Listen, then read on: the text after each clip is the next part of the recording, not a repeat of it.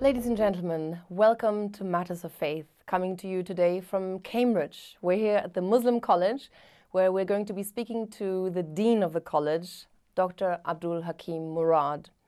He is a scholar in traditional Islamic thought as well as an expert in, on Western thought and civilization, and has written many, many articles on Islamic matters and is also a very popular speaker on Islamic topics. And Abdul Hakim Murad has just published a new translation of the very famous poem, The Burda, the poem of the cloak. And we'll be talking about that in a minute. But may I ask you to introduce yourself in your own words? There's a lot more to say to your career.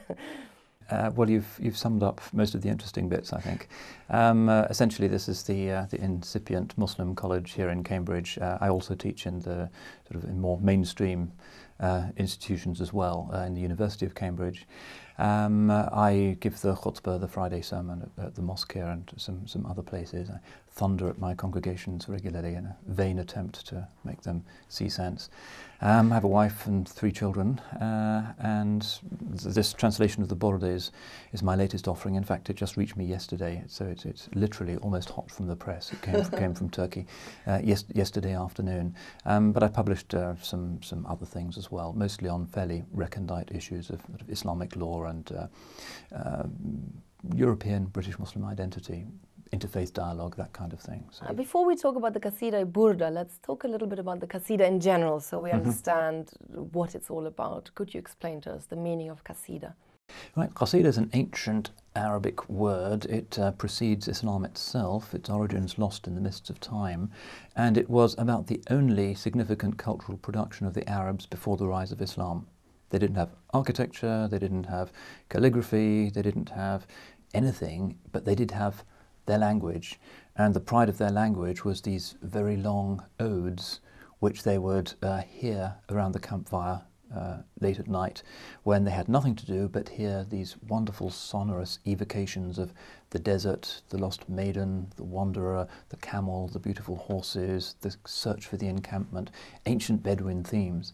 Uh, and the Qasida survived the transition into Islam and suddenly, as with all other things, started to bear fruit and blossoms and became an extraordinary vehicle for the conveying not of uh, ancient tribal humanism but of the new monotheistic message. So where previously the nostalgia of the Qasida was the poet standing by the embers of his beloved's campfire wondering where she's gone out into the wilderness, this becomes a metaphor for the lost human soul who has lost God and wants to know where is the beloved, where is Layla, where is my celestial betrothed, somewhere out there. Now I have to become religious, which is precisely the quest for the lost beloved. So a very ancient pagan romantic theme really becomes one of the great sacred metaphors of Islamic civilization. So the Qasida doesn't just survive and flourish in Arabic, but it becomes a major um, poetic form and has subforms in other Islamic literatures as well. And people are still writing qasidas to this day. Are these the main topics, uh, the lost soul, yearning for God, or are there other um, topics that qasidas are written well, about? the classical qasida, and there are said to be seven of them that were so esteemed by the Arabs that they were actually hung on the Kaaba, the, the, the great sanctuary in, in, in Mecca.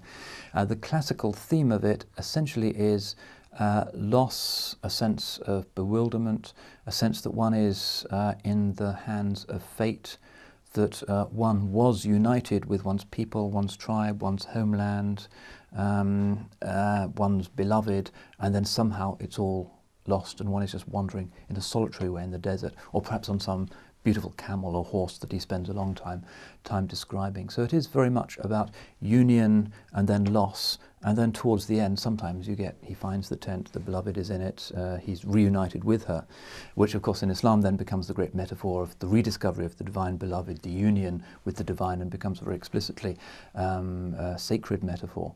Uh, but essentially those are the basic themes, the theme of union and then loss, being lost, and then perhaps finding or being found again at the end of the poem.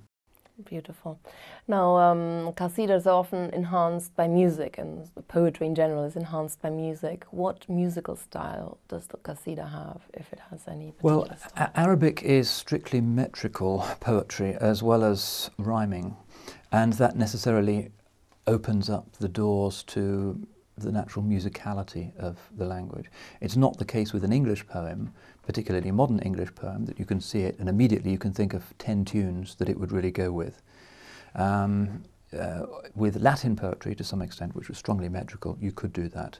With the decasyllables of Shakespeare, for instance, you can do that. With Milton, you can do that. With modern poetry, where you have blank verse and the idea of rhythm, of the power of the language recurrently reawakening the sensibilities as you go through each line, um, modernity has lost that, and so we don't really sing poems any longer, we just hear the poet reciting.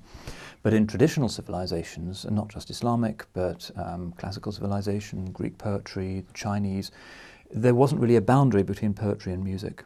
So the sonority and the musicality of the language, you just had to uh, make a slight modulation in what you were doing before it would become a kind of chant. And sometimes even the rhythms of Arabic go particularly well with the rhythm of the horse or the camel as you're going through the desert and it's really boring and you've got nothing to do other than recite all the poetry you know and listen to other people doing that. And there's even forms of poetry which is specifically there in order to make the camel go faster or slower. It's, it's very integrated into, into the natural world. And those rhythms give it a tremendous musicality. Uh, so uh, the, the origins of Islamic music really are in uh, Arabic poetry, and particularly the qasida, as well as also being in its more refined forms in this formal cantillation, the tajweed of the Quran, which is the basis of Islamic uh, melodics and, and, and, musicality. Would you say that uh, the qasidas, this uh, kind of Islamic poetry, actually strengthens the faith, can help strengthen our faith? Yes, it, it, because we know that we are, as human beings, very susceptible to our environment if we're in a beautiful building, we may behave differently than if we're in some car park covered in graffiti. This, uh, if we wear beautiful, dignified clothes, our behaviour tends to be more courteous and dignified and restrained than if we're wearing a t-shirt and, and jeans and nobody expects anything of us. We're, we're very weak and vulnerable to our immediate environment. So when we hear speech that isn't just rapping, for instance, but is something that's transcendently beautiful with the full possibilities of the miracle of human speech, with its endless permutations of adjectives, nouns, verbs, adverbs, uh, we feel that we are in our best modality. That our lowest modality is the sort of instinctual, uh, inarticulate cry of anger, or when somebody steps on our toe, we scream, and it's, it's the lowest noise that we make. Poetry and the recitation of scripture and great literature is the highest sound that we can make.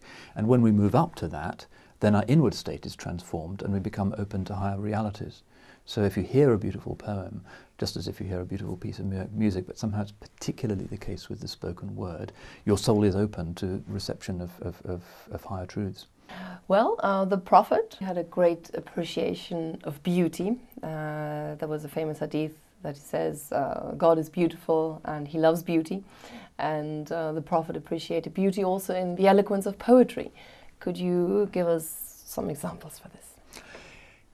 The issue of poetry is interesting because, as with music, it can possess us in a way that sometimes can be idolatrous. Sometimes, with a very catchy tune, for instance, it kind of takes you over you go to sleep and the tune's in your head. You wake up next morning and you're still thinking of the tune. And that's not spiritually terribly healthy. And similarly, you can become totally intoxicated by words and by a poem that, that takes you away from what those words are actually directing you to. So there, there have to be limits. And Islamic civilization ultimately is a religion of, of sahaw, of sobriety. It's about a kind of festive dignity, as somebody described. The Muslim is a person of festive dignity. He's always cheerful and enjoying life, but he's dignified, and the way he dresses and the way he is is sober. He doesn't overstep the boundaries. Um, but uh, the concept of, of verse in Islamic civilization is that it is that great mediator between ordinary factual discourse and saying things that describe the world and uttering things that uh, are about the unutterable and the ineffable. It forms a kind of bridge. Uh, and that's why the, the content of God's speech itself has that kind of musicality.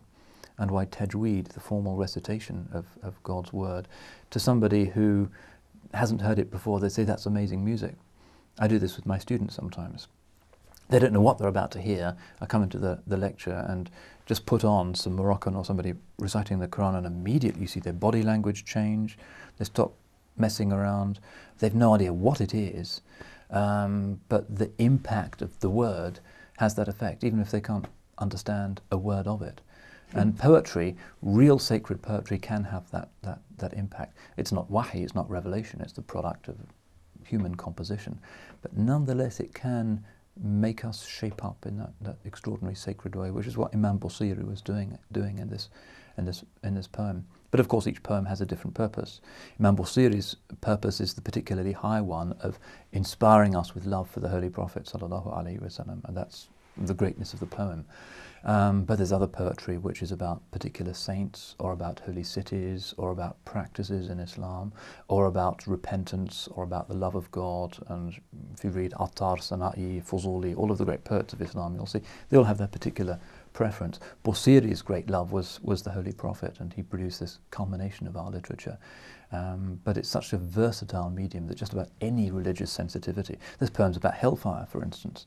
Some of the great Uzbek poets write mainly about hell, and it's kind of scary, and you get into a state of constriction. But that was their maqam, that was where they were. Wow.